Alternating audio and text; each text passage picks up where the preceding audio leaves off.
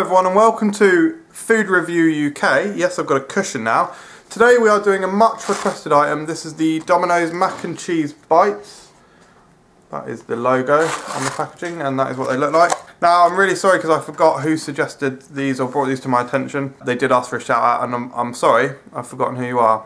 Anyway, a little bit, uh, not scared, worried because I've never never tried like, it's going to sound stupid but I've never actually tried macaroni cheese. Uh, I don't like cheesy, creamy stuff too, really. So uh, I'm definitely interested. You get four for how much are they? They're they're three ninety nine. So this is this here is one pound. That's very expensive. So here we go. Let's try it and see. Hmm. Straight away, very surprising. Have a look inside. Immediately, what I say is, get quite a lot of taste of uh, like a mozzarella dipper kind of thing, or like a cheesy dipper thing. Uh, I will say I'm surprisingly enjoying it. You do get the combination, you can definitely, there's levels of cheeses is what I'm trying to articulate myself into saying. It uh, starts off creamy like a mozzarella, as I say, but then moves into quite a mature cheesy flavour. I believe the product is described as having multiple layers of cheese and you can definitely taste the different blend of cheese in there.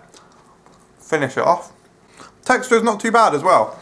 Really nice crispy texture, breaded texture on the outside and then combination of slight gooiness and pasta which is quite soft and merges in with all the other textures in the middle. Uh, yeah, uh, surprisingly, I think that's quite good. I still do think it's quite expensive and one thing that I will note is that you do get a tangy salsa sauce but yeah, I think that's that's pretty good actually. I give it four stars. Uh, pleasantly surprised by that. Yeah, I guess I probably like macaroni cheese. Although, I like how this adds, obviously, crispiness into the mix from the breadcrumbs. Thank you very much for watching, everyone. We will be having a Domino's Donuts review coming probably tomorrow, if you're watching this on the day it was uploaded. Or, if you're not, already uploaded. Thanks a lot for watching, guys, and subscribe for more videos. It was fucking phenomenal. Was it? A, was it in a can? Was it?